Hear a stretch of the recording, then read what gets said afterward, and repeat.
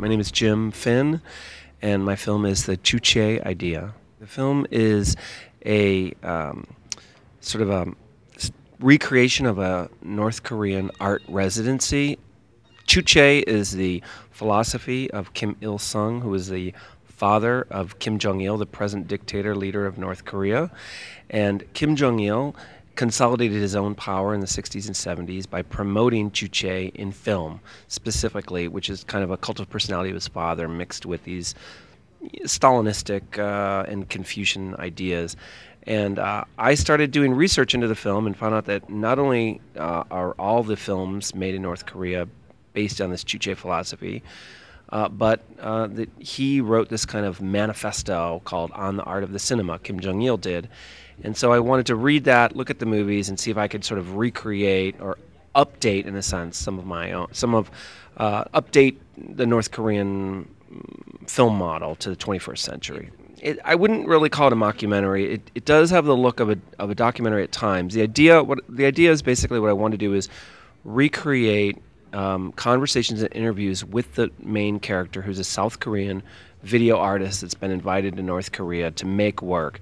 But we also see clips of some of the propaganda films she makes, plus the video art. There, but there are all these Juche films, and as you watch the film, you see some of some clips of films that she's been in and films that she's re-edited and interviews with her and and by the end you start to get this idea of this whole narrative of the film what's happening and maybe we don't really find out whatever happens with her or or whether she actually leaves the country uh, we just sort of have the tapes of what's left in a sense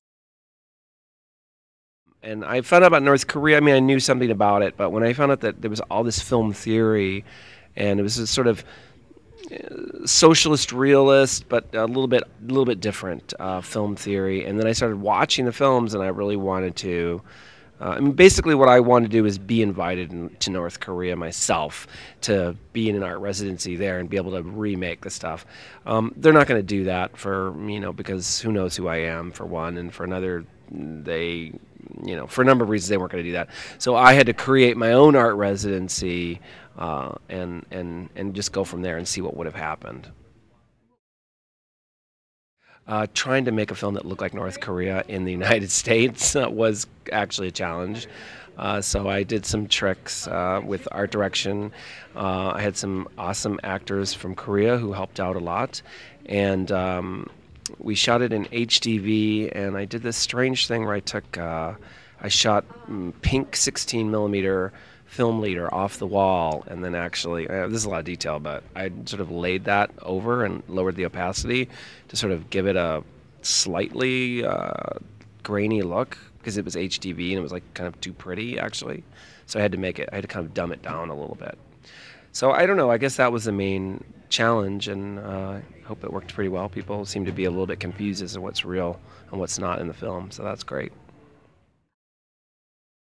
I think my advice is to make the film that you want to make, and don't worry about copyright, and don't worry about making money, and um, uh, also, I would surround yourself with other people that are making films in different ways, and not just filmmakers, because filmmakers can be quite annoying, but different kinds of artists and different kinds of people that are doing creative things, and collaborate and help them.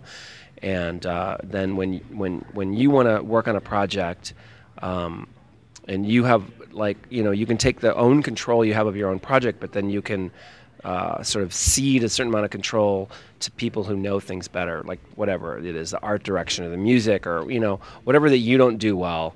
When you kind of have a community of people that you're helping out, then people help you out, and uh, it's like you know accumulating this creativity of humans. So that's my advice.